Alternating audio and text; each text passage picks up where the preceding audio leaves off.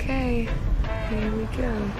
Welcome to Yonder, a wonderful development. It has all you'd need and all you'd want. Number nine. O longa conta a história de um casal. Gemma, interpretada por Imogen Potts, e Tom, na pele de Jesse Eisenberg. Um casal de namorados que decide avançar na relação e morar juntos. Para isso, eles compartilham a esperança de encontrar o local ideal para essa fase da vida.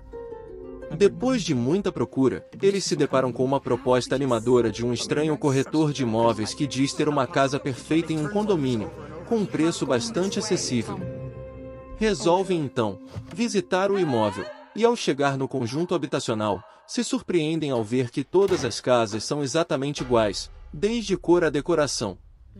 Após conhecerem a casa, as expectativas do casal não são correspondidas, e eles decidem abandonar o local sem demonstrar muito interesse em comprar a residência onde deixam o corretor.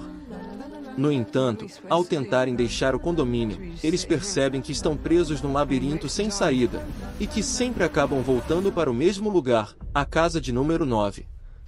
O casal fica desesperado sem entender o que é aquele local, e quem está os prendendo ali. Não bastasse o caos da situação de não encontrar uma maneira de sair daquele local, tudo fica ainda mais complicado quando Gemma e Tom recebem um bebê em uma caixa, que aparece dentro da casa com uma mensagem dizendo que eles sairão do condomínio se cuidarem da criança. As surpresas ficam ainda mais chocantes quando eles percebem que, com o passar dos dias, que aquela não é uma criança comum. You are home.